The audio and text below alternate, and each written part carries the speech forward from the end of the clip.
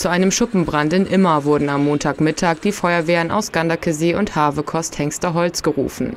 Aus ungeklärter Ursache war auf dem Gelände eines Unternehmens an der Hengsterholzer Straße ein Gartenhäuschen, das als Teil eines Vogelgeheges genutzt wurde, in Brand geraten. Die gegen 13.30 Uhr alarmierten Feuerwehren waren mit drei Fahrzeugen und rund 25 Einsatzkräften vor Ort. Mitarbeiter des Unternehmens waren den Flammen mit Feuerlöschern bereits zu Leibe gerückt. Nach dem Ablöschen rissen Feuerwehrleute unter Atemschutz die Innenverkleidung aus dem Häuschen, um letzte Glutnester zu finden.